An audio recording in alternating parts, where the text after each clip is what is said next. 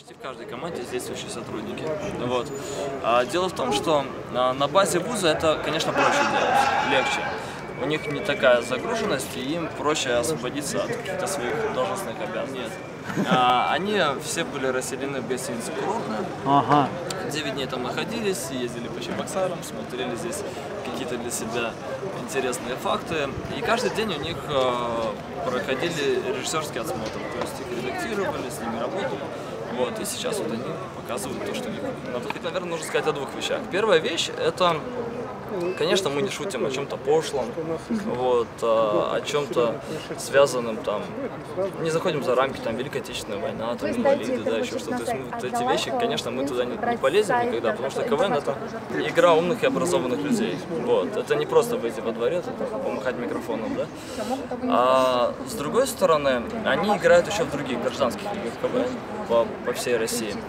И а, было, был такой вектор развития, что мы делали каких-то тупых ментов, выходили, говорили там а, то, что важная новость, менты не козлы. Все, зритель смеется, всем весело. Но вот редакторам очень строго говорят, что все, мы от этого отходим, мы больше не в полицию. А, И самим полицейским не разрешайте это делать, и другим командам не разрешайте. Только в очень в рамочках, или если это ну очень смешно. Вот.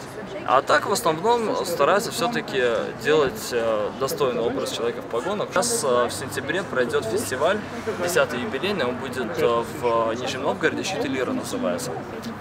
Посмотрите, как они поют, профессиональные певцы. Они свои диски выпускают, все. То есть среди МВД очень много есть студия художников, тоже профессионалы. То есть э, люди, у которых есть свои очень сильные, хорошие творческие способности, и в МВД э, позволяет их как-то Раскрыть, да? раскрыть, правильно. да. Понятно. А скажите, а правда, что вы уже не работаете в органах? Или нет? Нет, это правда. А вы не скучаете? Ну, как вы понимаете, скучать не приходится. Я в 2013 году уволился. Вот, э, я работал в Московском университете МВД России, должности капитана, а, звание капитана, должности старшего инспектора отдела социальной работы. Работал с курсантами, занимался параллельно а, различными мероприятиями культурно-массовыми, которые проходят в МВД. А, Мы делали выезды в Чечню, в Ингушетию, в Дагестан, там для военнослужащих делали концерты. Кстати, со звездами российской эстрады, которые туда летят совершенно бесплатно, выступают на таком военном самолете большом. Это очень интересно смотрится. Вот, концерт в Кремле, на, который идет в прямом эфире либо ну, через год на первом, на втором канале. Вот, тоже я принимаю участие в том, чтобы ну, его делать. Лига КВН Подъем, Щит и Лира, вот эти мероприятия. Сейчас, э, два года назад я уволился, вот, но продолжаю заниматься всеми этими делами. Просто параллельно еще а, занимаюсь другими для себя. Взял на себя еще творческие вызовы некоторые, которые не позволяют сопоставлять. Конечно, есть какая-то тоска, но это, наверное, какой-то следующий этап, шаг. Так надо, да. А, чем вы сейчас занимаетесь? Ну, то есть вы сказали, что-то еще приобрели.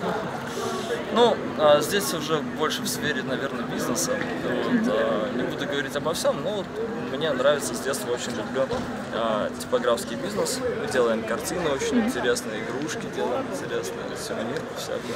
То есть подходим к этому с творческим потенциалом.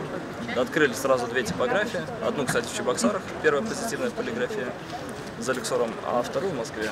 Вот. Во-первых, эта игра, э, она играется разово, кубок, и они получают трофей, сам кубок.